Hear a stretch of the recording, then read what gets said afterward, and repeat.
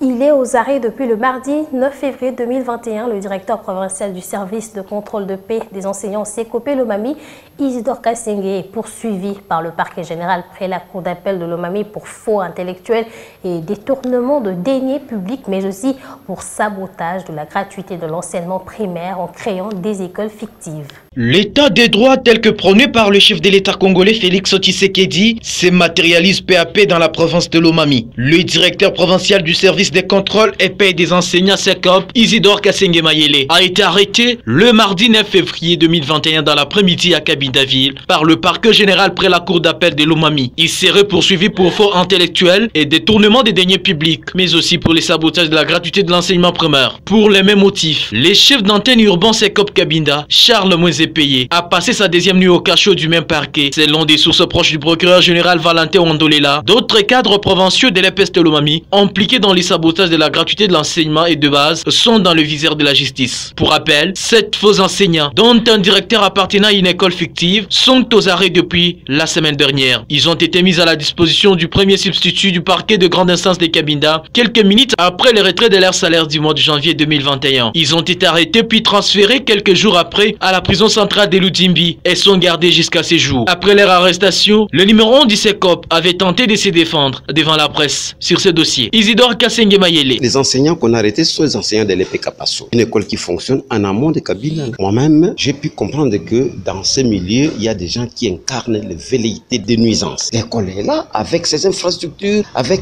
son personnel et ses élèves. Voilà les SECOP ajouté un cinquième secteur qui s'appelle FINDA. Mais c'est un peu satanique, diabolique ce qui se passe Ça me chauffe les nerfs à blanc. Hélas, une défense qui a conduit jusqu'à son arrestation. Dans sa correspondance du 25 novembre 2020, la commission justice et paix du diocèse de Kabinda avait dénoncé l'existence des écoles fictives et la politisation de la mécanisation des écoles secondaires éligibles à la paix dès janvier 2021. Pour cette structure citoyenne, preuve à l'appui. 22 écoles primaires fictives sur la ville de Kabinda ont été mécanisées et payées à partir du mois d'octobre. Mouene Ditou, province de Lomami, Sylvain Fizé Biwan.